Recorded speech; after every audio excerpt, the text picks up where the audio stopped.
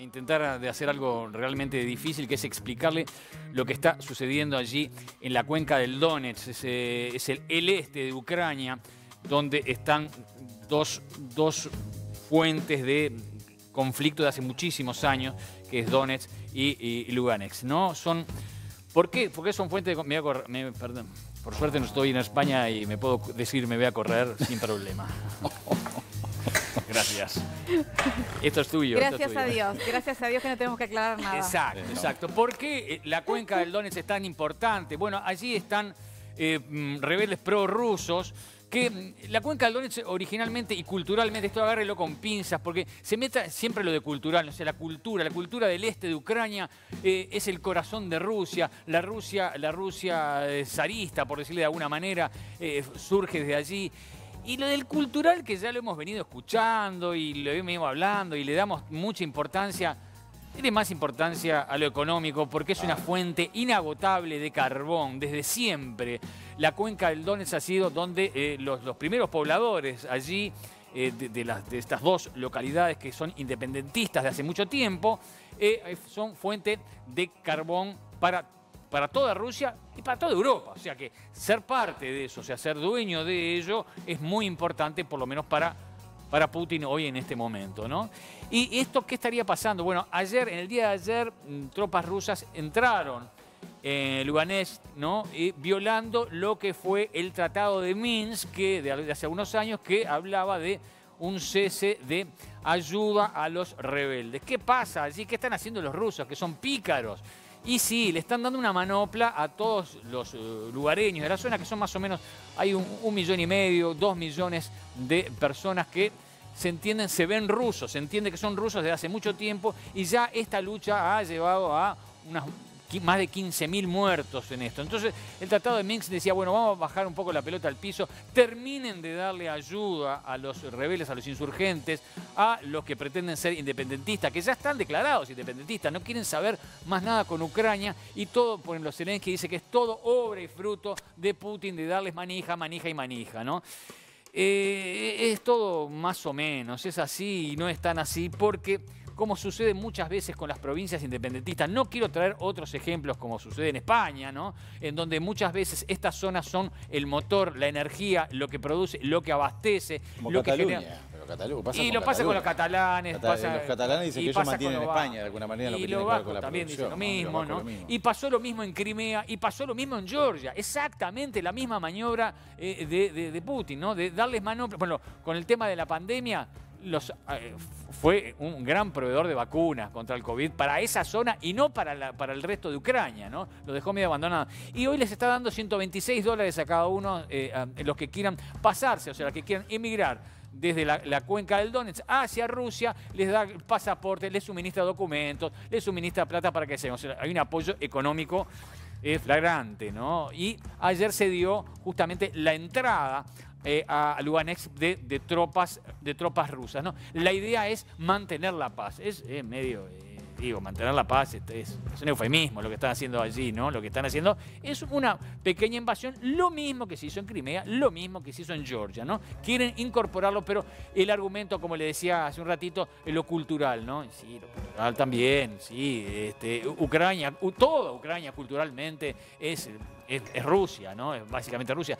Pero todo, además todo arranca desde que no, no solo Zelensky, sino los anteriores presidentes de Ucrania, dejaron de eh, tomar al ruso como la eh, lengua eh, oficial y es el ucraniano. ¿no? En cambio, aquí en la, en la cuenca del Donetsk se sigue hablando este, ruso. ¿no?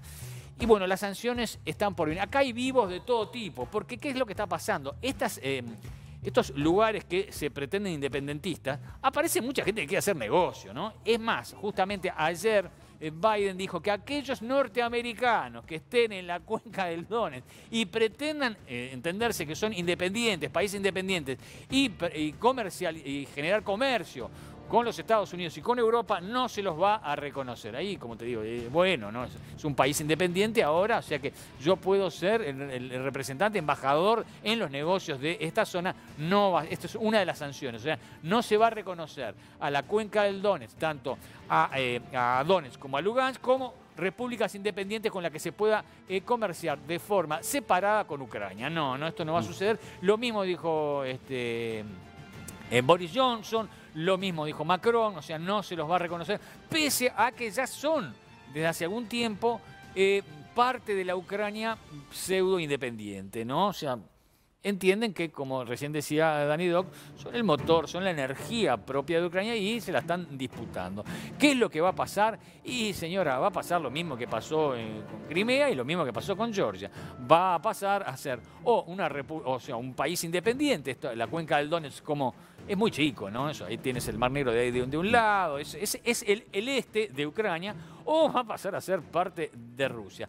Putin no, mm, en su comunicado de, día de ayer o la noche de ayer, dijo que no va a seguir eh, volcando tropas a esa zona a fin de pacificar, porque sí, hay una guerra civil allí, ¿no? Ahí tenés eh, prorrusos y gente que, quiere ser parte de Ucrania y gente que no en ese mismo lugar y entonces se está dando una guerra civil que ya, como te dije, llevaba, lleva unos 15.000 muertos. Pero eh, las sanciones, como te decía, van a ser muchísimas para esa zona y para Rusia también, ¿no? Por por eh, violar lo que fue el acuerdo de Minsk. No le quiero meter más nombres, señora, porque si no va a terminar como yo con la cabeza que no va a entender. El acuerdo de Minsk justamente lo que procurará es que vamos a terminar con eh, eh, los, suministros y apoyo a esta, esta zona a los independentistas frente a los que pretenden seguir siendo parte de Ucrania. Ese acuerdo estaría siendo violado porque, bueno, Rusia le está dando no solo plata, sí, como te dije, 126 dólares está dando ¿Te das cuenta lo que es la diferencia? Con 126 dólares vivís en, esta zona, ¿no? Una zona muy rica, como te digo, del punto de vista agrícola y del punto de vista de carbón históricamente. ¿no? Y les está dando lo más importante de todo, eh, Rusia estaría suministrando todo tipo de documentación, la que quieras, para venirte para Rusia. O sea que hay tanto las, las embajadas de los países eh, europeos como de los países americanos están, las están abandonando, ¿no? En Ucrania mismo, ¿no? Por esto es una, eh, por lo menos es una forma de entender de que se está sancionando la actitud de Rusia de invasión. Esto es una invasión. lo mismo, lo mismo, le repito, lo mismo que se hizo en Crimea, lo mismo que se hizo en Georgia, es lo que está sucediendo en estos momentos en la zona de la cuenca del Donetsk. Usted dirá, como decía Susanita, ¿se acuerda en, la tira de, Mafalda que miraba las noticias y, Qué lejos está el mundo, qué era. Lejos está qué el lejos está el mundo. Qué lejos está el mundo. Hoy no está tan lejos el mundo. Esto nos afecta directamente. ¿Sabe por qué, señora? Y con esto me voy porque subió el barril de petróleo y esto nos afecta directamente. Creo que está en 97, 98 dólares el Brent y esto va a implicar una suba inminente de la nafta y de todo, señor. Así que no agradezcale a Putin. No sé si, subirá ahora. Eso que se va a esperar después la luz, decís vos. Bueno, agradezcale a Putin. Este, lamentablemente esto va a seguir y el, el barril de petróleo va a seguir subiendo. Toda la crónica, toda la crónica es Para tremenda. Con la toda la crónica, desde la historia hasta el final fue tremendo. Y sí, y sí, es así. Es, así. Lamento, señora, traerle malas noticias, como siempre se las traigo. Y vio, no me desmayé, capaz que me desmayo.